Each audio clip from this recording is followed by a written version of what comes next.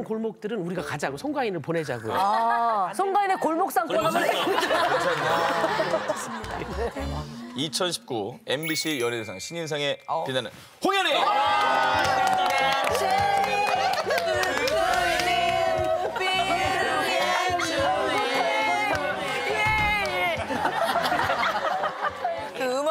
달라고 난리가 났어요. 누가요? DM에서 아니 제 노래 좀 듣고 싶지.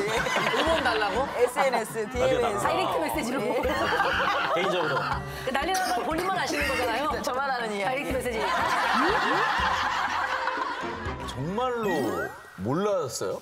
진짜 너무 놀래가지고 생각지도 못해서 제이슨 씨 진짜 설거지 한 오프닝만 보고 아 이제 됐다. 이제 내가 모니터 해주고 끝났다고 이제 설거지하고 있는데 갑자기 이름 외쳐서 여기 퐁퐁 묻힌 채로 눈물 흘리면서 너무 감동이었다고 하더라고 울면서. 그래서 근데 집에 가서 파티할 줄 알았는데 저희 회식 자리에 다 오셨잖아요. 네네. 아니 주윤발처럼 옷을 이렇게. 여배우 여배우. 가디건 안 입고. 가디건을 팔을 안 여시고 어깨 걸치고.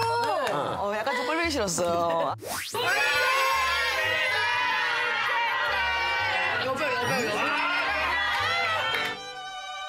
촬영을 하다 오신 거예요.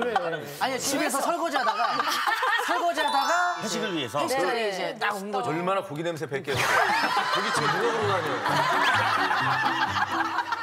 아니 근데 연예대상 끝나고 또 화제가 많이 됐던 게 네. 송은이 씨 표정이 하나 한번 잡혔는데 아유 진짜 이제 뭐. 김숙 씨도 그렇고 뭐 후배분들 상 받을 때 그 사진이 네. 청룡영화제 때 그 김혜수 씨가 이제 후배 여배우분들 맞아, 맞아. 상 받을 때 사진이랑 비교된 어, 짤이 막 진짜? 보이더라고요. 네, 네. 예능계 김혜수.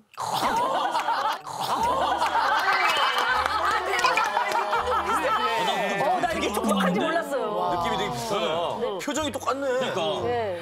그냥 어 너무 진심이 느껴지는 사진인 거예요. 저 기억나.